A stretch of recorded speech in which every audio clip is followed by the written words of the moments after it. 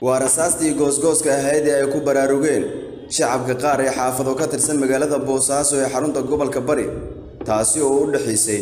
ciidamo ka amar qaata madaxweynaha dowlad goboleedka puntland siciid cabdulaahi deni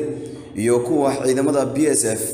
Dagaalkan ayaa salka ku haya xiisad ka dhalatay xilka qaadistii madaxweynaha puntland uu ku sameeyey agaasimaha hay'adda b s f maxamuud cismaan diyaano wuxuuna si gaar ah uga dhacay xaafad lagu magacaabo ridwaan oo ay ku yaalaan xarumaha ciidamada b s f. Inta la xaqiijiyey dagaalku waxaa ku dhaawacmay shan ruux saddex ka mid ah oo ay ahaayeen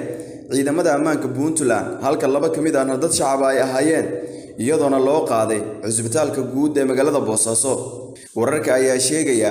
in baraha koontarool ee laga soo galo iyo kuwa laga baxo ee magaalada ay xiran yihiin taasi oo ka dhalatay israsaaseyntii dhexmartay ciidamada dowlad goboleedka puntland ee ka amar qaata madaxweyne deni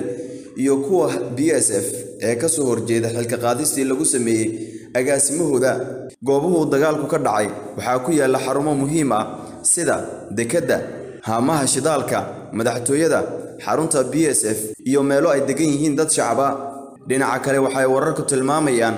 in dadka deggan xaafadaha qaar ay bilaabeen inay isaga baxaan maadaama cabsi xooggan halkaasi ay ka soo food saartay taasi oo keeni karta in dadku ay gebi ahaanba xaafadahoodii isaga baxaan si ay kaga badbaadaan dhibaatada ka dhalan karta. Israsaaseyntan u dhexaysa ciidamada ka amar qaata madaxweynaha puntland siciid cabdulaahi deni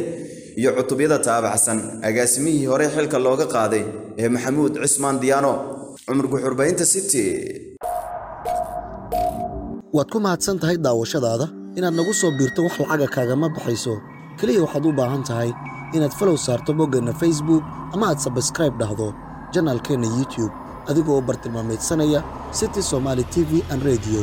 la jaanqaad warbaahinteenna oo hel warar iyo barnaamijyo adiga kaa hadlaya